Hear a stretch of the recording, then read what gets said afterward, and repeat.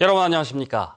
영일만 3 일반 산업단지가 앞으로 특수 로봇 단지로 집중 개발됩니다.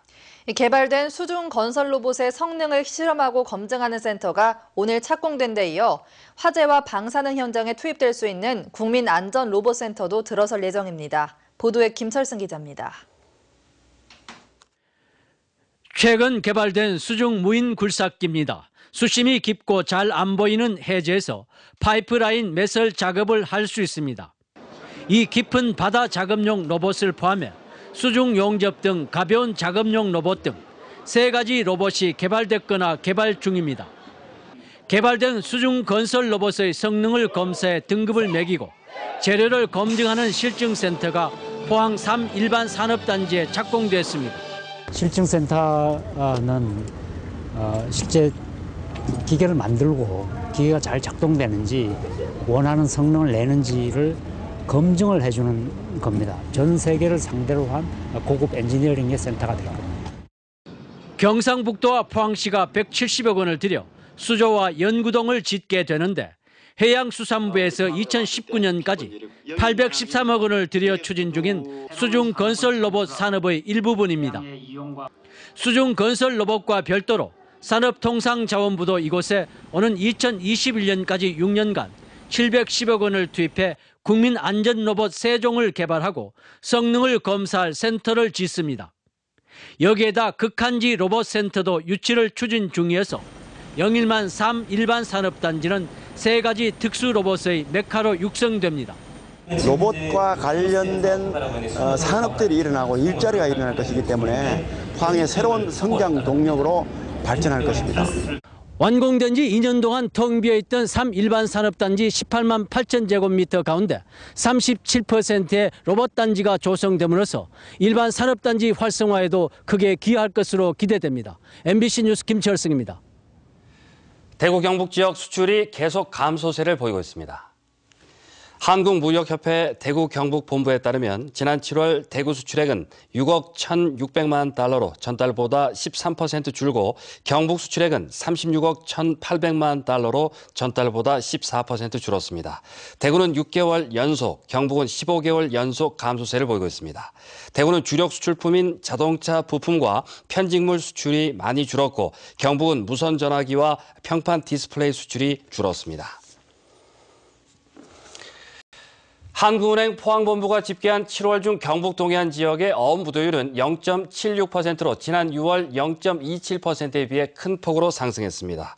이는 포스코 플랜텍의 워크아웃으로 해당 업체와 관련 협력업체의 어음 부도가 크게 증가했기 때문이며 지난달 초 포항 선린병원 등의 부도로 부도 금액이 더 커질 것으로 보입니다.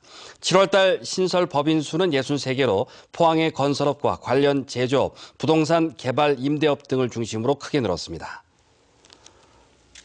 6.25 전쟁 때 국가에 의해 국민이 집단 학살된 보도연맹 사건과 관련해 최근 대법원이 포항 지역 희생자에 대해 국가 배상 판결을 확정했습니다.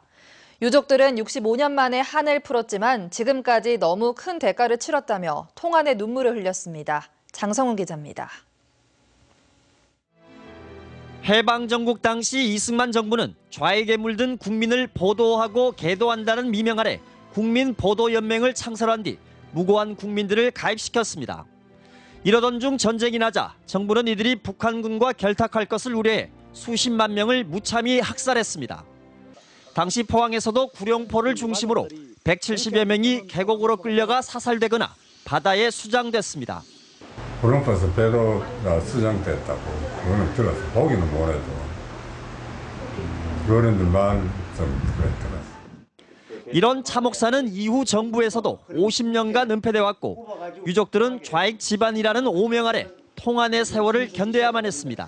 뭐 벨기인이 뭐 이래 가지고 뭐 학교 뭐 우리 집안 내에도 학교 갈 사람도 학교도 못 가고 뭐 사사히 그렇다고 뭐 그런 고통이 많았어요. 내 진로는 꽉 막혔는가 보다. 내 뭐 공직에 나갈 수도 없고 뭐 뭐할뭐게 없는가 보다. 하- 학교 하면 내뭐 이거 마쳐가 뭐하고 그래 포기했어요. 포기하고 이제 이날까지 이제 이래 묻혀가 끌고 오는 기라 끌고. 2009년 마침내 과거사 정리위원회는 국가의 잘못을 인정하는 결정을 내리고 유족에 대한 명예회복과 생활비 지원 등을 권고했지만 받아들여지지 않았습니다.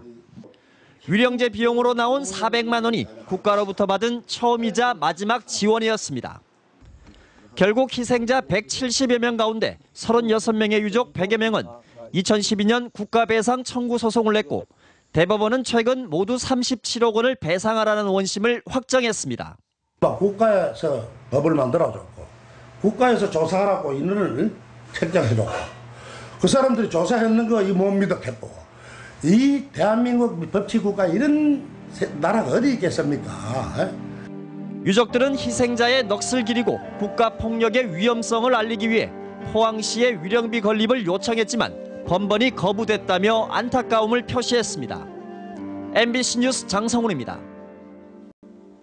정부의 재정 압박에 상당수 지자체가 올해 주민세를 상한선인 만 원으로 올린 가운데 인상한 지자체는 경북 지역이 가장 많은 것으로 나타났습니다. 행정자치부가 3, 4천 원 선이던 주민세를 인상하지 않으면 교부세 재정 지원에서 불이익을 주도록 방침을 정하자 전국 89개 지자체가 인상했거나 인상을 결정했습니다. 지자체 중에는 서울과 대전, 울산 등 광역시 3곳과 충남시군은 인상에 동참하지 않는 반면 경북은 15개 지자체가 일제 인상에 가장 많았습니다. 수도권이 아닌 소규모 지방 사립대인 한동대학교가 대학 구조개혁 평가에서 최우수 A등급을 받았습니다. 교육 특성화 정책과 인프라 개선 등 교육의 품질을 높인 것이 주요했던 것으로 분석됩니다. 임재욱 기자가 보도합니다. 최근 교육부가 발표한 구조개혁 평가에서 한동대가 최우수인 A등급을 받았습니다. 수도권을 제외한 강원 영남권에서 A등급을 받은 곳은 포스텍과 한동대 등 다섯 곳에 불과합니다. 전임 교원 충원과 첨단 강의실 확충 등 교육 여건을 개선했고 체계적인 학사 관리로 교육의 품질을 높인 것이 주요했던 것으로 분석됩니다. 이제 그 보강을 하실 때 이제 보통 학생들이랑 이제 시간을 조율해서 잡으시는데 어떤 때는 심지어 금요일 밤 10시에 잡으신 적도 있거든요. 그 교수님께서 그렇게 보강을 해주신 게 저의 학업적인 부분이나 그런 성취에 있어서 더 많은 도움이 됐던 것 같습니다. 학교 설립 후 20년간 창업 교육과 창의 융합 교육 등 지속적인 혁신 노력도 A등급을 받는 데 큰 보탬이 됐습니다. 학생들을 세상을 변화시킬 수 있는 인재로 우리가 양성하자 그런 비전을 가지고 교육을 개선해 왔습니다. 그 비전을 가지고 교수님들이 열정 가지고 학생들이 전달하고 학생들은 그 열정을 받아서 또 자기 미래에 대해서 꿈을 꾸면서 공부해 왔고 한동대는 이번 평가 결과를 바탕으로 지속적인 교육 혁신과 지역과의 상생을 추구하겠다고 밝혔습니다. 이 포항을 룩셈부르크처럼 철강 도시와 바로 금융을 입힌 그런 어, 특히 요새 핀텍을 에, 결합해서 에, 최고의 경제 도시로 하는데 우리 한동대학교가 기여하고 싶습니다. 한동대가 최우수 등급을 받으면서 대학 특성화 사업 등 정부의 재정 지원 사업도 탄력을 받게 됐습니다.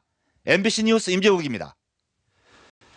포항시의회는 오늘 포항시 사도의 구조 기준 완화 조례안을 포함한 24개의 안건을 처리하고 제222회 임시회를 폐회했습니다. 이번 회기 동안 자치행정위원회는 본청 위주의 인사로 읍면동 행정의 신뢰성이 떨어진다며 효율적인 운영을 주문했고 복지환경위원회는 전기버스 배터리 리스 사업에 대해 철저한 준비를 주문했습니다. 한편 시의회는 제223회 임시회를 다음 달 16일부터 23일까지 개회하고 21일, 22일 이틀간 시정 질문을 하기로 했습니다. 수능이 두 달 앞으로 다가온 가운데 마지막 모의평가가 오늘 치러졌습니다. 최근 계속된 쉬운 출제 경향이 이번에도 이어졌는데요. 수시와 정시에 어떻게 활용해야 할지 조재한 기자가 보도합니다. 이번 모의평가에서도 국영수 세 과목의 쉬운 출제 경향은 이어졌습니다. 탐구 영역은 지난해 수능과 비슷한 난이도로 올해 수능에서도 변수가 될 전망입니다. 국영수보다도 탐구 영역이 조금 어려웠다고 생각, 어려웠고요. 어, 그 이제 탐구 영역에서 약점을 알았으니까 그 약점을 보완해서 남은 두 달 동안 열심히 할 생각입니다. 당장 다음 주부터 수시 모집 원서 접수가 시작되는 만큼 이번 모의평가 가채점 결과를 바탕으로 최대 6곳까지 지원 가능한 수시 전략을 세워야 합니다. 수시에서는 어, 학생부 100%라든지 서류 100% 반영 또는 어, 수능 전에 전형을 실시하는 대학은 약간 상향 지원을 하고 수능 이후에 어, 면접이라는 논술을 실시하는 대학은 상향과 적정과 하향을 골고루 지원하는 전략이 필요할 것으로 보입니다. 모의평가 응시생 62만 4천여 명 가운데 재수생은 약 6만 7천 명으로 6월 모의평가보다 1만 7천여 명 늘었습니다. 정시에 집중하는 반수생이 늘어났기 때문입니다. 입시 관계자들은 수능까지 남은 두 달 동안 조급해하지 말고 평소 학습 패턴을 유지하는 것이 중요하다고 강조합니다. 수능 원서를 제출하거나 수시 원서를 쓰고 나면 학생들이 엄청 많이 흔들리는 시기입니다. 흔들리지 않고 자기 패턴대로 쭉 가는 게 아마 제일 바람직할 것 같습니다. 또한 급한 마음에 고액 과외를 찾기보다는 그동안 시험에서 드러난 취약점을 보완하고 교과서와 EBS 교재 등 기본에 충실할 것을 조언하고 있습니다. MBC 뉴스 조지안입니다. 한수원 한울원전은 어제부터 시작해 오는 4일까지 방사성 폐기물 1000드럼을 경주 방패장으로 처분 인도한다고 밝혔습니다. 이번에 처분 인도하는 방패물은 한울원전에서 보관하던 것으로 청정 누리호를 이용해 오는 4일 경주 방패장으로 옮길 예정입니다. 한편 한울원전은 지난 2010년 12월에도 국내 최초로 방패물 1000드럼을 경주 방패장으로 인도한 바 있습니다. 예방 백신 부족으로 시군 보건소에서 실시하던 주사형 결핵 예방 백신인 BCG 무료 접종이 오늘부터 일시적으로 중단됐습니다. 질병관리본부는 전량 수입에 의존하고 있는 주사형 결핵 예방 백신 공급이 끊겨 오는 20일까지 접종을 중단하며 다만 병의원에서 유료로 접종하는 예방 백신은 접종이 가능하다고 밝혔습니다. 제20회 국민생활체육회장기 전국 게이트볼 대회가 울릉도에서 열렸습니다. 이번 대회는 17개 시도에서 128개 팀 1000여 명이 참가해 열띤 경쟁을 벌였습니다. 울릉도는 이번 대회가 메르스 여파로 침체된 지역 경기 활성화에 도움이 될 것으로 기대하고 있습니다. 오늘 경북 동해안 지역은 구름 많은 가운데 때때로 비가 내렸습니다. 내일도 비가 오락가락하겠고 낮 기온은 조금 더 오르겠습니다. 자세한 날씨 양태빈 기상캐스터가 전합니다. 네, 가을을 재촉하는 것인지 비가 오락가락하는 하루였습니다. 내일도 경북 동해안 쪽은 비가 내리겠는데요. 오전에는 구름만 많다가 오후 3시 때부터 때때로 비가 내리겠습니다. 내리는 비의 양은 1에서 3mm 정도로 많지는 않겠습니다. 한편 가을의 문턱에서 늦더위가 기승을 부리겠습니다. 낮 기온이 오늘보다 조금 더 오르겠는데요. 내일 낮 최고 기온이 대체로 28도 선을 기록하면서 한낮에는 다소 덥겠습니다. 하지만 아침 공기는 선선하니까요. 일교차에 주의하셔야겠습니다. 자세한 내일 날씨 알아보겠습니다.